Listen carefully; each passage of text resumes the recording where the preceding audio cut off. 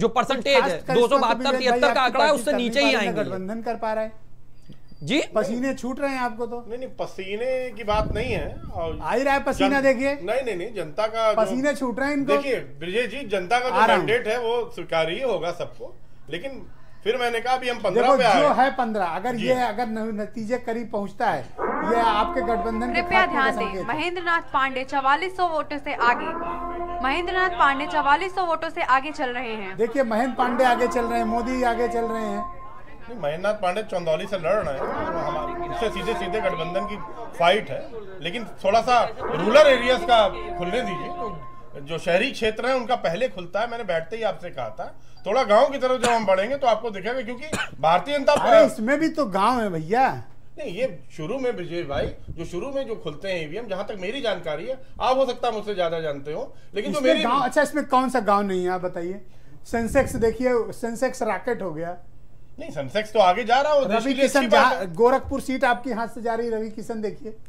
तो रवि किशन कितने वोट से आगे? अभी तो दिखा रहे थे कि 1400 या 1500 वोट से आगे चल रहा है। अच्छा जब से सोनिया कवर करने में कितना टाइम लगता सोनिया गांधी पीछे हुई तो इनकी आवाज़ ही गुम हो गई विशाल की।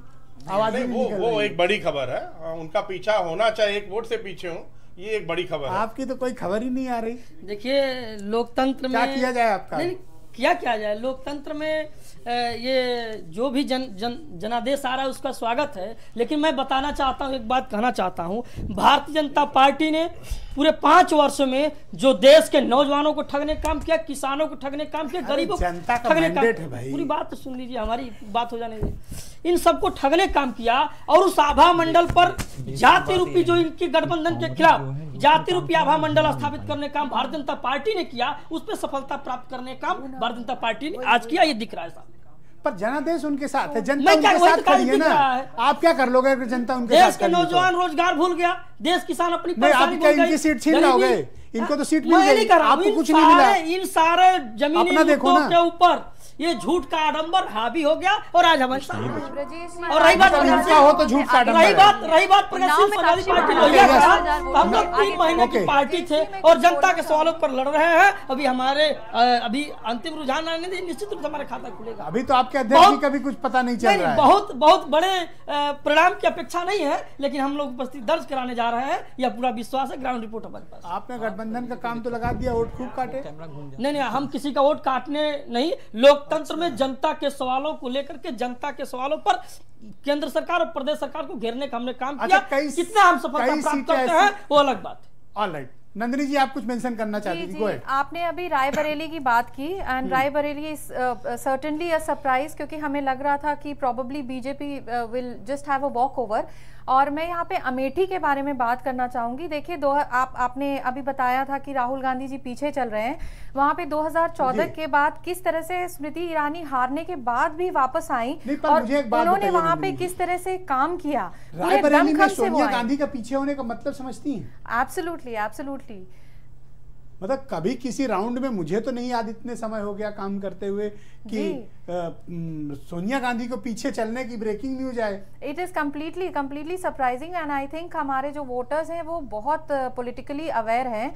एंड अमेठी की जैसे मैं बात कर रही थी तो वो हारने के बाद भी जिस तरह से uh, जो कैंडिडेट्स हैं हारने के बाद भी स्मृति ईरानी जी uh, वापस आई और पूरे दमखम के साथ वो वापस आई। उन्होंने वहाँ पे काम किया जो प्राइम मिनिस्टर प्राइम मिनिस्टर की जो योजनाएँ हैं उनको वहाँ पे इम्प्लीमेंट भी किया है। तो कहीं ना कहीं वो एक पॉलिटिकल कनेक्ट डेवलप करने में तो बहुत ज़्यादा सक्षम हुई देखिए अभी यूपी का जो सिनेरियो स्क्रीन पर भी आपके सामने। जी जी। आउट ऑफ़ 61 45 पर बीजेपी आगे। जी जी जी। तो क्या चला यूपी में? तो बीजेपी की तो लहर रही है मानने एब्सोल्युटली में क्या कमी है एब्सोल्युटली एब्सोल्युटली बीजेपी की यहाँ पे लहर है। और मेरे ख्याल से देखिए मैं यहाँ पे इयान ब्रेमर को कोट करना चाहूँगी। उन्होंने कहा है कि जो भी जो वेलफेयर मेजर्स जो वेलफेयर पॉलिसीज़ यहाँ पर आए हैं उन्होंने टाइम्स मैगजीन में लिखा है। तो जिस तरह से मोदी जी ने जो रिफॉर्म्स को पुश इन किया है वो एक डेवलपिंग कंट्री इंडिया जैसे डेवलपिंग कंट्री के लिए बहुत बहुत इंपॉर्टेंट है। आप देखिए सिद्धार्थनगर में एक गाँव है वहाँ पे जाइए। सब कहते हैं कि Swachh Bharat is a failure this is a failure जब किसी भी स्कीम को अगर हम फेलियर बोलते तो हमें पहले अपने गिरेबान में झाँक के देखना चाहिए। तो हसुड़ी नहीं अफसानपुर एक एक बस मेरी एक पॉइंट सुन लीजिए। हसुड़ी अफसानपुर में एक गाँव है वहाँ पर आप जरा जाके देखिए किस तरह से जो वेलफेयर मेजर्स हैं जो प्रोग्राम्स है उसको किस तरह वहाँ ग्राम प्रधान ने इम्प्लीमेंट किया है कम्युनिटी रेडियो के थ्रू अवेयरनेस फैलाया है और लोगों को मोटिवेट भी किया है। तो कृपया ध्यान दें। जितने भी प्रोग्राम्स और पॉलिसीज़ वोटों से आगे उनके चल रहे प्रति हैं। लोगों की अमेठी जागरूकता से बढ़ी स्मृति ईरानी और 5,000 से ज़्यादा वोटों से आगे चल रही हैं। Positive they have they have a very positive अच्छा कांग्रेस के लिए बड़ी शॉकिंग न्यूज़ है। एब्सोल्युटली दिस राहुल गांधी 5000 वोटों से पीछे जी जी जी। सोनिया गांधी 646 वोट से पीछे। देखिए पॉलिटिक्स में दिल जीतना जो है वो एक बड़ी बात होती है। एंड आई थिंक कहीं ना कहीं बीजेपी जो है इसमें बहुत मायने में सफल हुई है।